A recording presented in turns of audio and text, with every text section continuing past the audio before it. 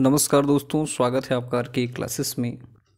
कल हम लोगों ने एन सीरीज़ क्लास सिक्स का लेशन वन देखा था और आज ज्योग्राफी में लेशन वन देखा। ये हम लोग करेंगे हिस्ट्री का लेशन टू जो कि है आरंभिक मानव की खोज। ये सीरीज़ में आप लोग, कई दोस्तों ने जो है काफ़ी इसको सराहा है। तो उसके लिए आप लोगों को बहुत बहुत धन्यवाद। इसे आप कंटिन्यू देखें। बाकी सभी का पीडीएफ जो हम टेलीग्राम पर दे देंगे। तो चलिए शुरू करते हैं। अध्याय अपना आरंभिक मानव की खोज। पहला प्रश्न है कि निम्नलिखित पुरास्थलों में से किस स्थान से मनुष्य के आखेटक खाद्य संग्राहक होने का प्रमाण नहीं मिला है? मतलब लोग जो खाद का संग्रह करते थे, ये चार जगह दिया हुआ, इनमें से किस स्थान पर ऐसा मतलब लोग जो है संग्रह, खाद के संग्रह होने का प्रमाण नहीं मिला है? ऑप्शन देख लीजिए आप भीम बेटका हुंसी चिरांद, कुरनूल, गुफाएँ। तो ध्यान रखिए, सही जवाब है आपका चिरांद। कहता है कि भीम बेटका हुंसी और कुरनूल की गुफाओं से मनुष्य के आखिर तक व खाद संग्राहक होने के प्रमाण मिले हैं। लोग जो है, शिकारी थे और जो भोजन था, उनका संग्रह करते थे। इसका प्रमाण हमें भीमबेटका से मिला है हुंसी से और कुरनूल से मिला है। और ये ध्यान रखिएगा, भीमबेटका हुंसी कुरनूल, ये तीनों पूरा पाषाणिक स्थल हैं। जबकि चिरांद जो है नव पाषाणिक पुरास्थल है। ये भी तीनों में आपको डिफरेंस ध्यान में रखना है। चिरांद जो है, कौन सा स्थल है? नव पाषाणिक पुरास्थल आगे कहता है कि भीमबेटका नर्मदा नदी के किनारे तथा हुंसगी और कुरनूल गुफाएँ तुंगभद्रा नदी के किनारे स्थित है। तो सवाल आपसे पूछ सकता है ध्यान रखिएगा कि कुरनूल गुफाएँ किस नदी के किनारे स्थित है?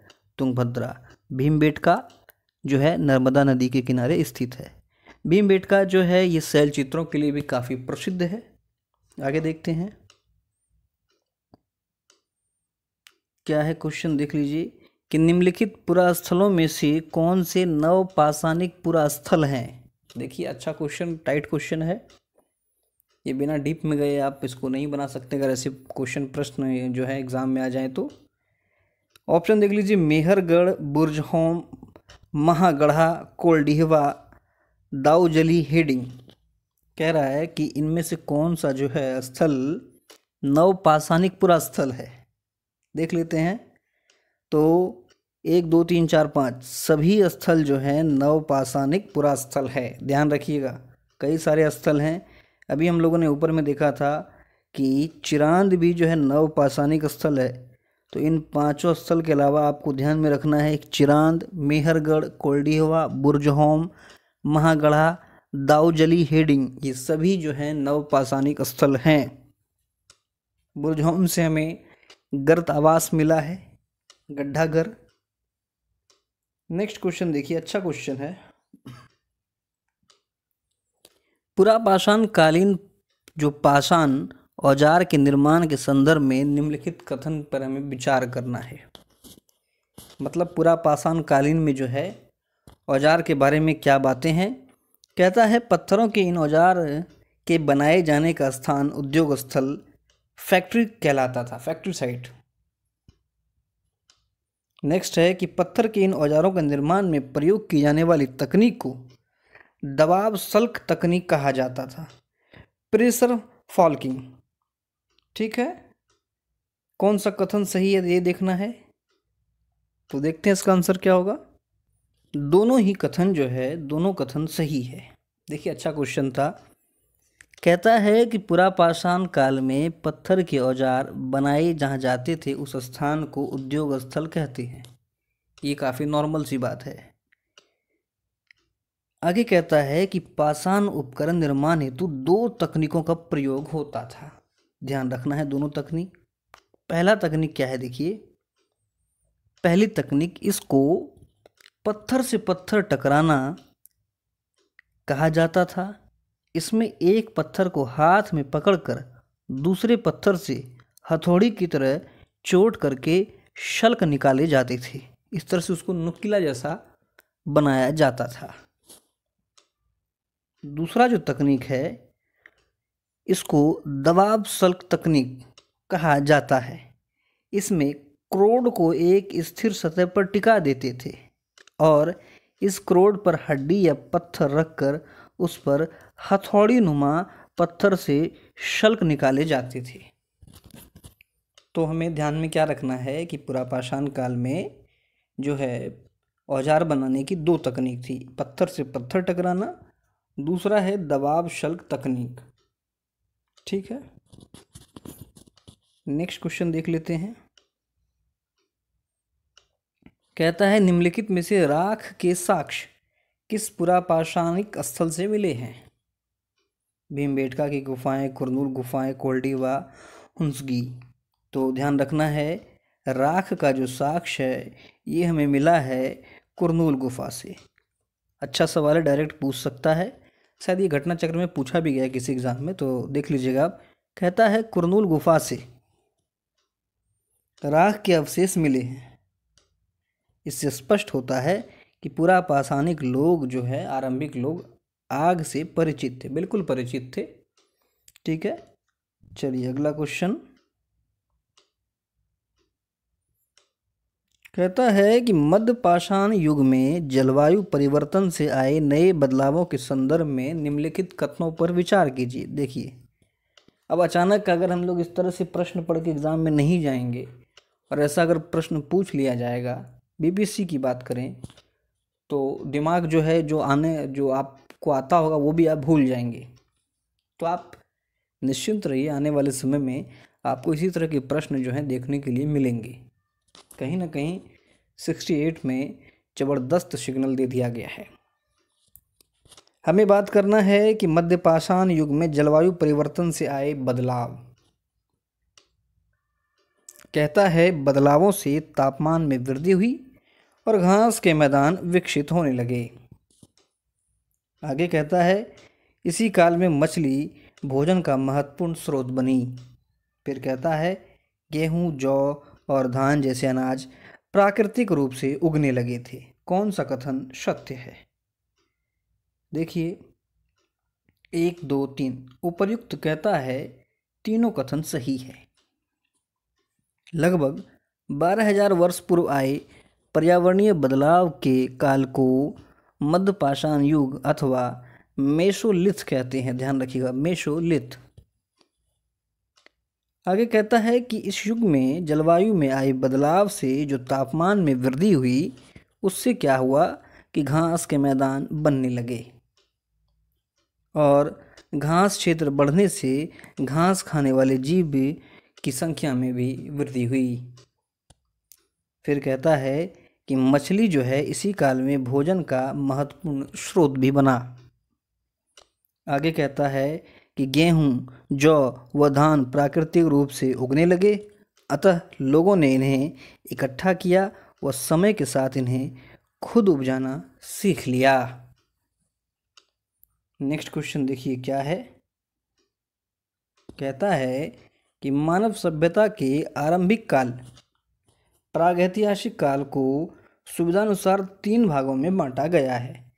निम्नलिखित में कौन सा उन तीनों में नहीं आता है? अर्थात प्राग ऐतिहासिक काल के तीन भाग में इसको विभाजित किए गए हैं। कौन उसमें नहीं है?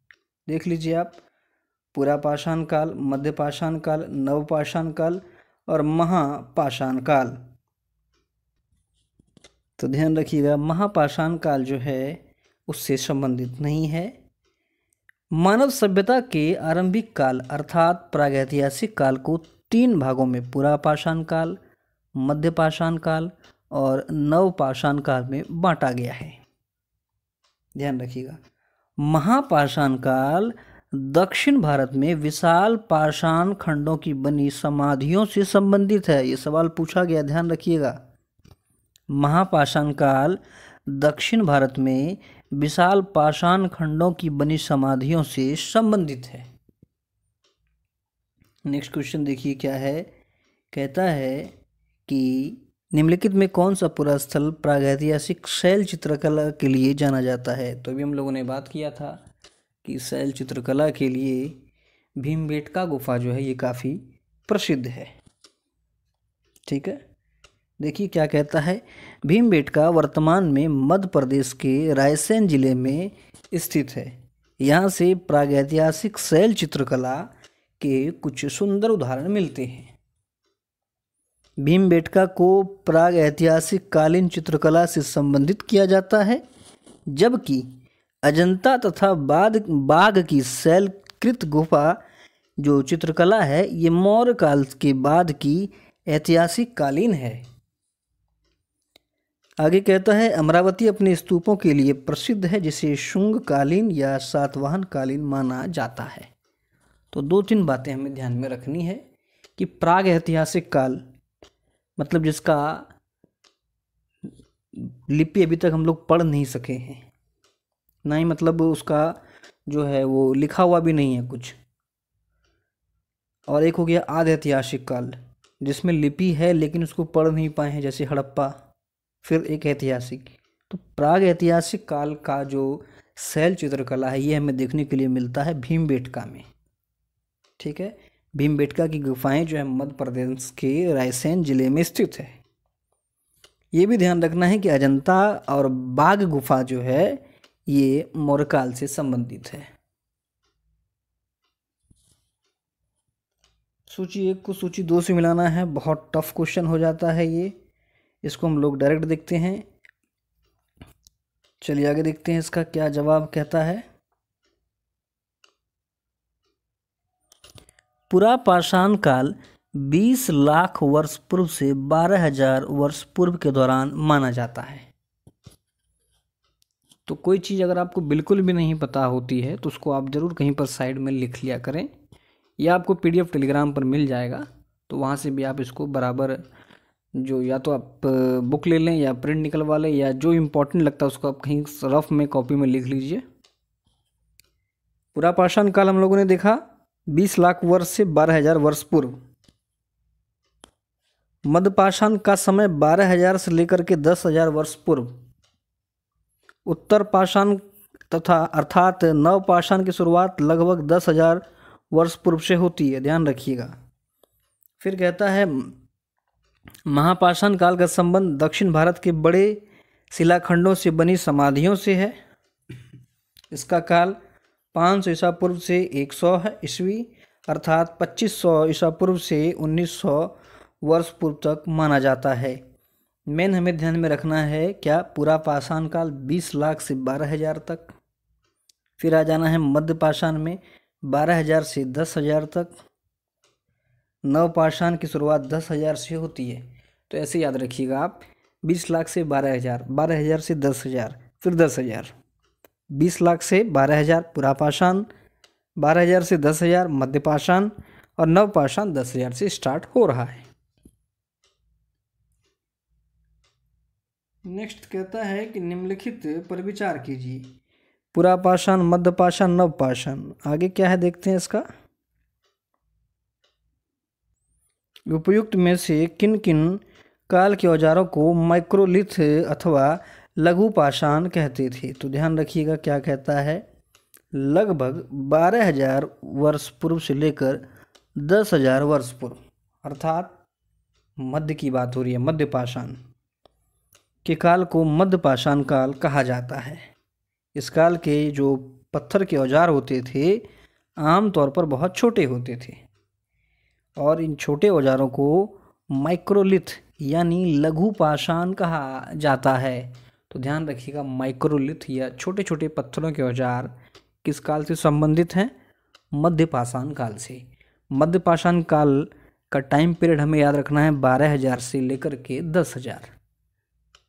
पूरा पाषाण का हमें याद रखना है बीस लाख से बारह हज़ार। नव पाषाण स्टार्ट हो जा रहा है अपना दस हज़ार से। कहता है कि प्रायः इन औज़ार में हड्डी या लकड़ियों के मुट्ठे लगे हंसियाँ और आरी जैसे औज़ार मिलते थे।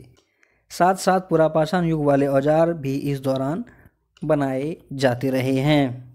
लेकिन हमें ध्यान में क्या रखना है कि मध्य पाषाण जो कि बारह हज़ार से दस हज़ार तक जिसका टाइम पीरियड है, इस समय पत्थर के औज़ार जो है काफ़ी छोटे छोटे होते थे, उन्हें माइक्रोलिथ या लघु पाषाण कहा जाता था।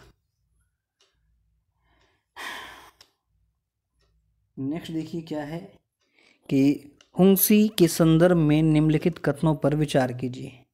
कहता है, उसगी से पुरापाषाण युग के कई जो है साक्ष्य प्राप्त हुए हैं। आगे कहता है, यहाँ से प्राप्त अधिकांश औज़ार बलुआ पत्थरों से बनाए जाते थे। तो सही जवाब है ऑप्शन नंबर ए। क्या कहता है, देख लीजिए कि कथन एक सही है। हुशगी कर्नाटक में स्थित पुरा पाषाण कालीन स्थल है। ध्यान रखिएगा कहाँ पर स्थित है? कर्नाटक में और तुंगभद्रा नदी के किनारे। यहाँ से प्राप्त कुछ पुरा स्थलों से अलग अलग कार्यों में प्रयोग किए जाने वाले कई औज़ार मिले हैं। उनकी कर्नाटक से। ठीक है? कहता है इसमें अधिकांश औज़ार जो है ये चूना पत्थरों से बनाए जाते थे, ना कि बलुआ पत्थर से। तो देखिए कितना करीब करीब आपको जो है, कितना अच्छा क्वेश्चन या कितना डीप से पूछ रहा है। इसमें जो औज़ार हमें देखने के लिए मिलता है, वो चूना पत्थर का, ना कि बलुआ पत्थर का। क्लियर है? आगे देखिए क्या कहता है। भारत में शुतुरमुर्ग के साक्ष्य के संदर्भ में निम्नलिखित कथनों पर विचार कीजिए। कहता है कि भारत में शुतुरमुर्ग के होने के प्राचीनतम प्रमाण नवपाषाण युग से प्राप्त हुए हैं। अगला स्टेटमेंट है कि आंध्र प्रदेश के पटने नमक पुरास्थल से शत्रुमुर्ग के अंडे के अवशेष मिले हैं। फिर कहता है कि प्राग ऐतिहासिक काल में शत्रुमुर्ग के अंडे के छिलके पर चित्रांकन और इसके मन के बनाए जाने के प्रमाण मिले हैं। तो शत्रुमुर्ग के बारे में तीन स्टेटमेंट हमें मिला है। कौन सा कह रहा है, सही है। केवल तीन सही है। तीन में देख लीजिए क्या है कि प्रागैतिहासिक काल के शुतुरमुर्ग के अंडे के छिलकों पर चित्रांकन और इसके, इनसे मन के बनाए जाने का प्रमाण मिला है। कहता है कि भारत में शुतुरमुर्ग होने के प्राचीनतम प्रमाण पूरा पाषाण काल से प्राप्त हुआ है। किस काल से? पूरा पाषाण काल से। ठीक है? ऑप्शन में देखिए आपको नवपाषाण दिया हुआ है तो ये गलत हो गया। फिर कहता है, ये अवशेष पटने नामक पूरा स्थल जो महाराष्ट्र में स्थित है, वहाँ से मिला है। अब देखिए, कितना क्लोज कॉल है, पटने यहाँ पर भी दिया है, ठीक है? लेकिन आंध्र प्रदेश दे दिया है तो पटने कहाँ पर है भैया? महाराष्ट्र में। फिर कहता है कि कथन तीन सही है। इनके अंडों के छिलकों पर चित्रांकन और इनसे मन के बनाए, बनाने का प्रमाण भी मिलता है। एकदम यूपीएससी लेवल का दिया हुआ है। कहता है कि हाल ही में पच्चीस हज़ार वर्ष पुराने शुतुरमुर्ग के अंडे के सेल राजस्थान के बूंदी से प्राप्त हुए। ध्यान रखिएगा। शुतुरमुर्ग के अंडे का सेल कहाँ से मिला है? राजस्थान के बूंदी से। तो ये हो गया अपना लेशन टू समाप्त। इसके बाद अपना अध्याय तीन है, संग्रह से उत्पादन तक। इसको करेंगे, फिर जल्दी हम लोग साइंस के भी चैप्टर को भी स्टार्ट कर देंगे। उम्मीद आपको ये वीडियो अच्छा लगा होगा। और मिलेंगे अगले लेक्चर में, तब तक के लिए जय हिंद।